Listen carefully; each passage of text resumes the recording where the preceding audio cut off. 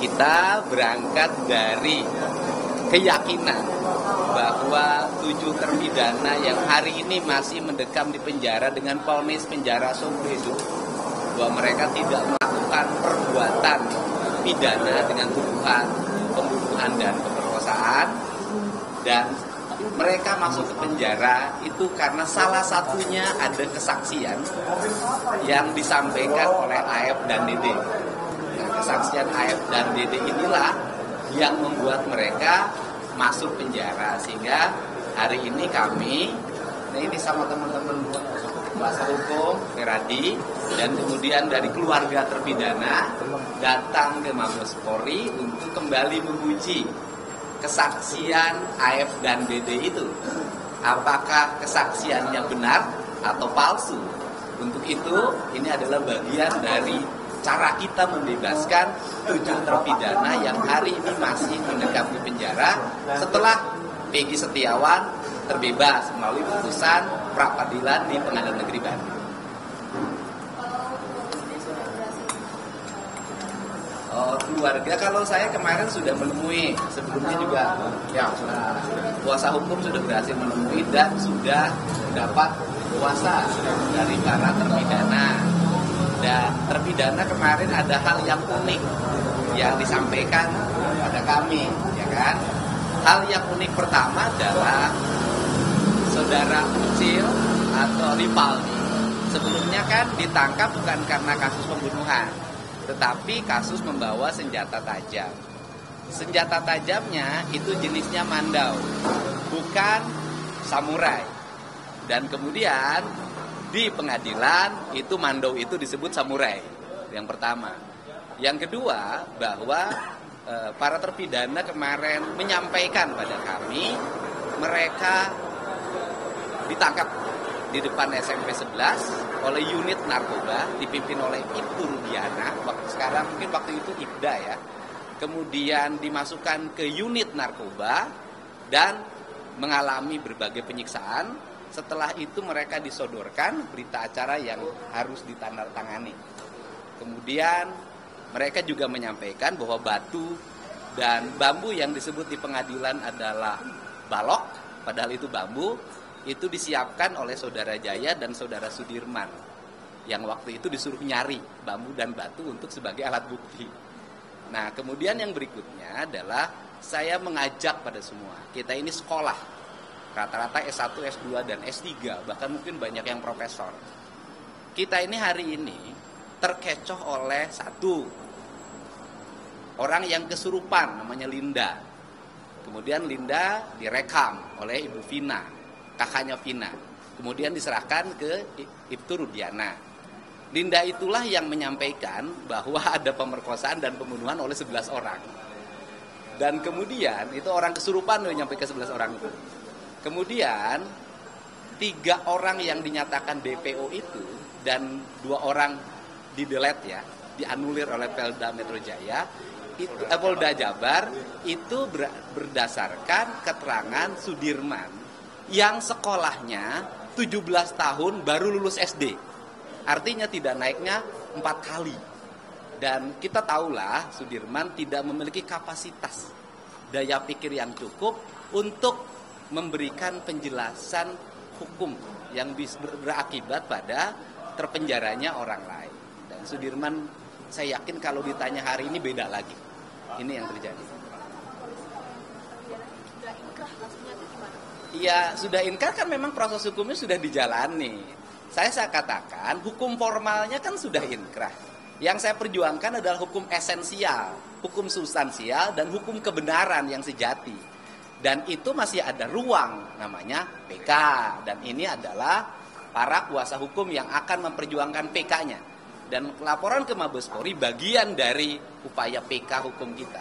Kita hari ini tidak memiliki tujuan untuk mempidanakan orang. Tidak memiliki tujuan untuk mempenjarakan orang. Kita punya tujuan untuk membebaskan orang.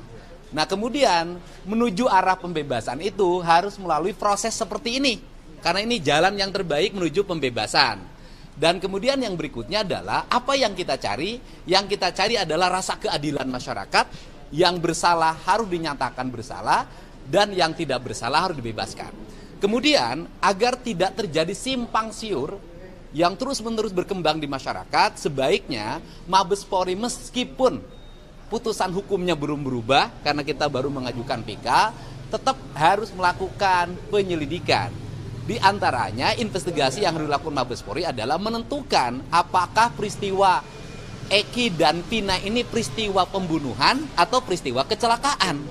Nah ini yang harus segera dilakukan oleh Mabes Polri. Saya pikir Mabes Polri memiliki kemampuan menganalisis peristiwa ini secara baik. Karena apa? Karena tahun 2016 itu belum jadul. Masih tahunnya adalah tahun digital. Handphone-handphone dari para terpidana masih ada. Itu kan tinggal handphonenya dinyalakan, kemudian dibuka handphonenya, itu akan terbuka kelihatan percakapannya, posisi para terpidana di mana, sehingga kita tidak cocok logi berdasarkan sains. Kemudian yang berikutnya juga saya meminta agar CCTV-nya juga dibuka. CCTV yang dibuka bisa dua. Yang pertama, kalau ingin mengejar tuduhan pelemparan, buka CCTV-nya Indomaret.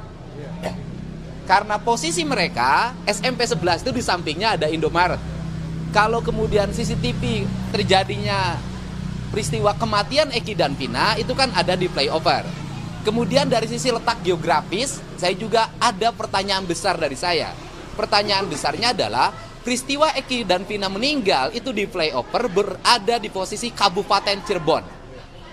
Tetapi kenapa ditangani oleh Polresta Cirebon? Ini juga pertanyaan yang mesti dijawab sebenarnya dari sisi aspek SOP penanganan yang harus dilakukan. Itu saja eh, pernyataan dari kami.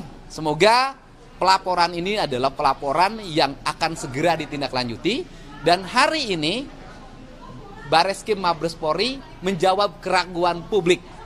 Apakah Parudiana bisa dilaporkan? Apakah pelaporannya akan diterima? Apakah akan diproses? Dan ternyata Bareski Mabes Polri menerima dan akan memproses. Untuk itu saya mengucapkan terima kasih pada Pak Kapolri, kepada Pak Kabar Eskrim atas upayanya membuka kasus ini seluas-luasnya agar masyarakat kita bisa mendapatkan keadilan yang terbuka. Amin. Ya. Kita hari ini tidak ngomongin tes DNA. Ini kan karena nanti merancui pelaporan di Bareskrim. Jadi fokus hari ini adalah fokus melaporkan Parudiana ke Mabes Polri. Dalam bahasa sederhananya, ya kan, kau yang berjanji, kau yang mengingkari. Semacam ya bentuk penganiayaan di yang dialami oleh klien kami dari mulai injak-injak, kemudian pemukulan, kemudian kepala gembok kepala dikenakan kepala sampai sampai pecah kepalanya dan lain sebagainya ya itulah yang yang menurut saya hari gini masih ada hal seperti itu gitu ya. Tapi kita lihat nanti kita uji kita uji aja nanti oleh penyidik apakah laporan kami ini bisa dipertanggungjawabkan atau tidak. Ya tadi juga ada yang yang bilang bahwa ini terpidana ini suruh minum air kencing segala kan. Kan ini hal-hal yang sebetulnya udah di luar kemanusiaan lah ya.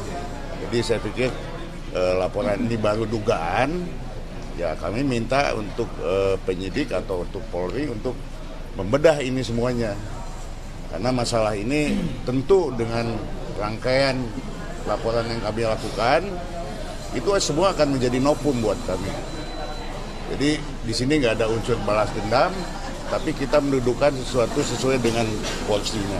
Baik, yang jelas yang pertama terkait dengan kegiatan hari ini kami tentunya menyambut baik rakorwas yang dilaksanakan oleh Kompolnas dan Polri dan ini menjadi komitmen kami juga Polri bahwa yang namanya transformasi digital ini menjadi kebutuhan. Dan tentunya Polri sebagai organisasi yang kami tidak ingin menjadi organisasi yang stagnan sehingga kami membuka ruang kami tidak anti kritik untuk mewujudkan Polri yang modern sesuai dengan apa yang menjadi harapan masyarakat. Dan saya kira kita bekerja sama dengan Kompolnas khususnya selaku pengawas eksternal dan juga tidak hanya itu seluruh stakeholder terkait yang memiliki kewenangan untuk mengawasi dan memberikan masukan Polri tentunya uh, kami buka ruang sebesar-besarnya untuk memberikan masukan termasuk juga masyarakat. Karena saya kira saat ini uh, fenomena masyarakat menjadi uh, bagian dari citizen journalism saya kira ini menjadi fenomena baru yang tentunya membuat Polri harus bisa beradaptasi dengan cepat. Terkait dengan beberapa pertanyaan kasus yang ada yang saat ini sedang berjalan tentunya Polri uh, menindaklanjuti. Beberapa waktu yang lalu ada uh, laporan di Barreskrim terkait dengan proses perjalanan yang di Jawa Barat dan saat ini pendalaman-pendalaman sedang kita lakukan, propam kita turunkan, irwasum kita turunkan untuk melakukan pendalaman terkait dengan peristiwa yang ada. Walaupun sudah terjadi 8 tahun yang lalu ya, 2016, namun tentunya kami uh, memiliki uh, kewajiban untuk melakukan pendalaman sehingga kemudian pada saatnya setelah semuanya lengkap kita akan sampaikan kepada masyarakat secara transparan tentang fakta-fakta yang kita temukan. Mungkin itu. Terima kasih. Terima kasih. Terima kasih ya. Di antara banyak sumber informasi, kami layak dipercaya. Karena kami menggali lebih dalam, berpihak pada kebenaran, berpegang pada data dan fakta agar layak Anda jadikan referensi. Kompas TV, independen, terpercaya.